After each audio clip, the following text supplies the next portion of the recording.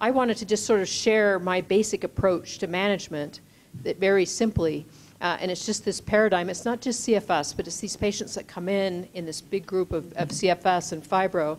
And essentially, it is to treat all identifiable medical conditions, you know, do your job as a clinician, teach the patients to pace their activity level to avoid symptom flares. Pacing is very important, learning how to uh, just control symptoms with activity. And then I have what I call the four legs of the table, uh, which are restorative sleep, thinking about mental health and stress management, controlling severe pain, and physical conditioning. And I treat, even though I'm a fatigue clinic, I, could, I treat fatigue last. I really treat fatigue indirectly. Uh, and sometimes I'll apply medications that I think might help augment fatigue, but I treat fatigue by treating the things I think contribute to fatigue first and then beware of medication and side effects. So I just wanted to give you that little structure, uh, maybe a little pearl about how you might uh, manage patients. And there's my picture of the table that I'll leave you with.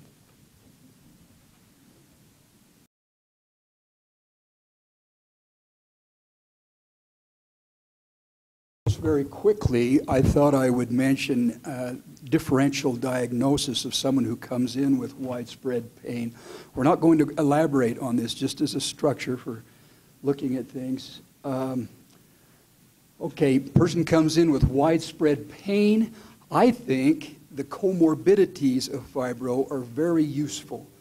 What I mean by that is disorders related to nervous system hypersensitization and augmentation that are very common along with fibro. For example, irritable bowel syndrome, not a colon disease, but an, a nervous system over-responding to gut signals, or migraine headache over-responding to light and sound, or anxiety over-responding to stress. The reason I put those up there, or irritable bladder, the reason I put those up there is if none of those are there, now they're not part of the official criteria, but if none of them are there, with widespread pain, then I may well look at some of the other less common causes of chronic pain. Uh, so if you've got the comorbidities and the tender points, you're very likely, this is very likely to be fibromyalgia in my estimation. Uh, if there are none of the comorbidities, IBS, migraine, anxiety, etc., and you do have tender points, then be sure you want to check on TSH, because hypothyroidism can cause chronic widespread pain. If the comorbidities are not there, IBS, etc., and you don't have tender points of great significance, then a SED rate is very useful to look for inflammatory disorders. And you want to look for if they have poor sunlight exposure. So SED rate is negative no inflammation, poor sun exposure. Look carefully for vitamin D deficiency. And a lot of people are vitamin D, including fibro patients, have vitamin D deficiency, but they usually don't have all the comorbidities. They don't get IBS and migraine, and the tender points aren't as striking. Again, negative tender points, negative comorbidities, but a high SED rate suggesting inflammation or CRP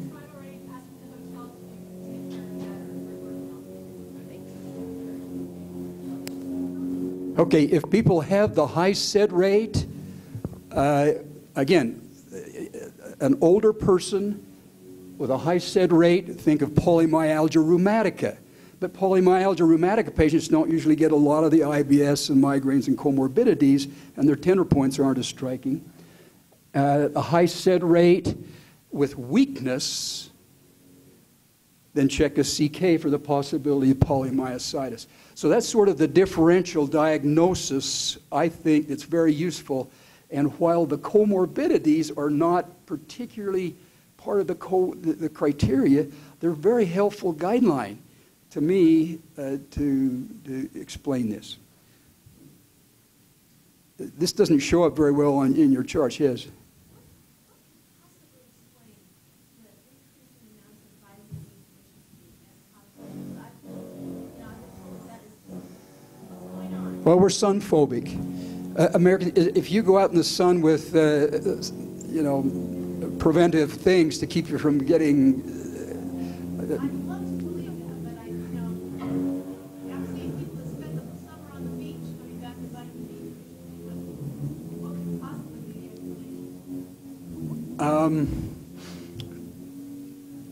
Well, that may go beyond our discussion here today, but the fact is, a lot of people are saying, we did a study, uh, fibromyalgia people, full criteria, 70% were vitamin D deficient, and the vitamin D deficiency pain can then trigger the fibromyalgia in a person that's genetically prone to sensitize.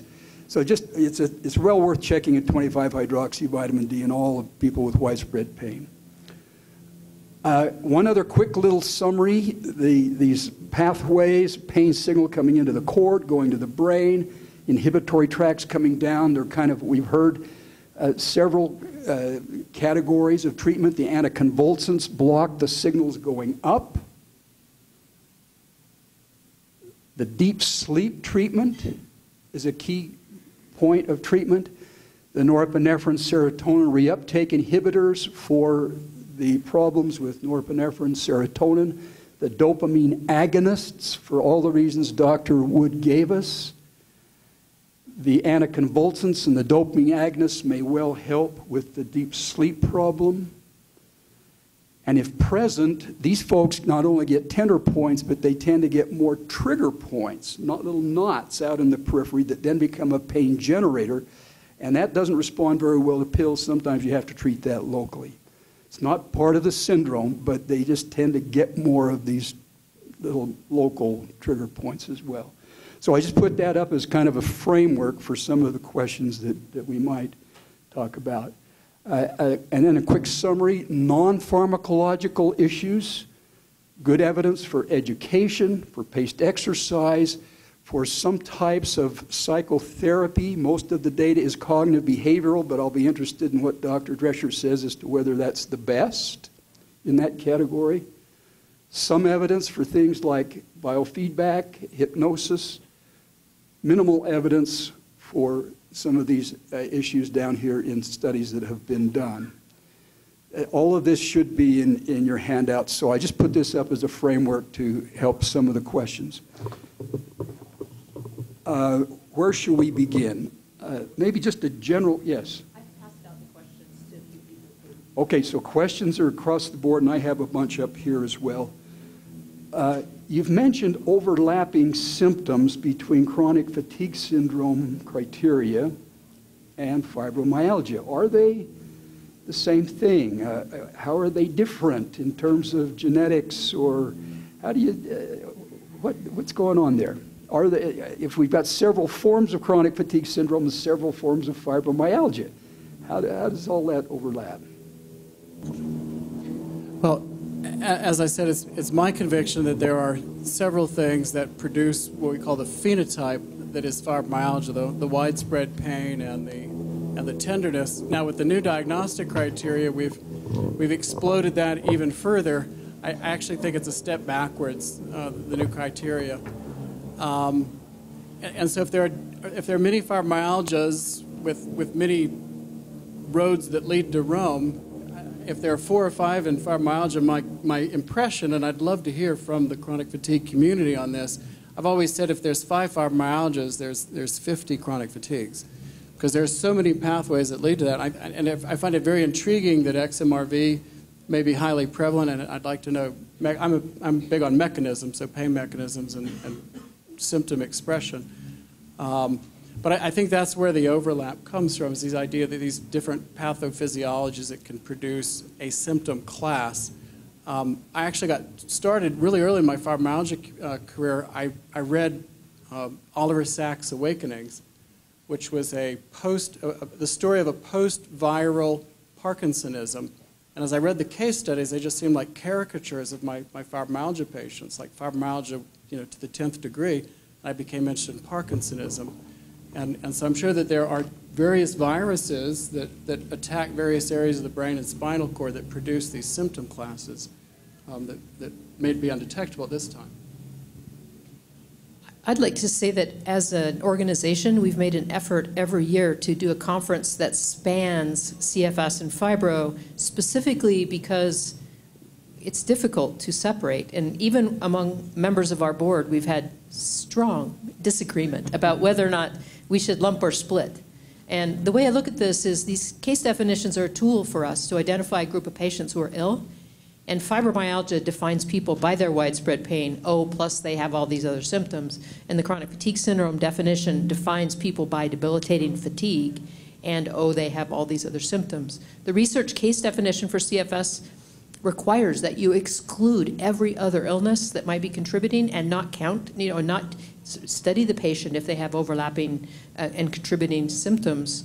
The fibromyalgia definition doesn't do that. It really allows you to uh, frame, you know, have a working uh, diagnosis and begin to exclude and do a differential diagnosis. But you can, if the patient meets the criteria, they have they meet criteria for fibromyalgia syndrome. So it's it's much more user friendly in the clinic. We tend to adapt the CFS case definition to the clinical setting uh, by allowing more comorbidities because we try to treat them and compensate for them. So I, I would, at this point, what we need, this was one reason I, I tried to make the focus on science here at this clinic, is we do, excuse me, at this conference, is we do need to begin to subset uh, these, uh, these uh, different disorders. Unfortunately, you have to use your clinical tuition, intuition right now to do that uh, out in the field. We are limited by the um, ICD-9 for having a four-digit instead of a five-digit code. The 729.1 lumps everything together, so it's very difficult to subset out all of our population. Th- Yes, but you can do it clinically. You can work on these uh, subset issues. What, what I do is I rotate the codes. So every patient's got like four or five or six codes, right? If you think about their comorbidities, you tend to focus on one or another when they come in. So I don't always put fibromyalgia or chronic fatigue syndrome as their primary diagnosis, even if I consider it that when I'm billing. So uh, whatever I focus on, I, I prioritize, and, and I haven't really had any trouble in terms of billing. So this one says, how is XMRV transmitted? Um, the answer is we really don't know. So it's a retrovirus, and there are two other retroviruses that we do understand something about, HIV and HTLV1. Both of those are transmitted by exchange of body fluids. So um, either via blood transfusion, by sexual activity, or by maternal to child transmission during childbirth. Uh, we do not know if any of these uh, mechanisms are prevalent in XMRV transmission. What we are doing is we're studying um, certain samples. Um, so we're looking at blood from the general population, we're looking at seminal fluid, and we're looking at cervical secretions. But those are ongoing studies, and we don't know. We don't have the answers yet. Yes. Um, What about the outbreaks of children who obviously haven't had tested? Right. So, so you can either explain a maternal to child, you know, so acquisition of the virus at birth, or you know there might be other ways of uh, getting it. So, yeah. So Cindy's asking if anyone's looked at XMRV in children, and to my knowledge, no, no one's looked at XMRV in kids. But there, there is, of course, chronic fatigue syndrome in kids, which often gets diagnosed around puberty or later, um, but it's definitely there.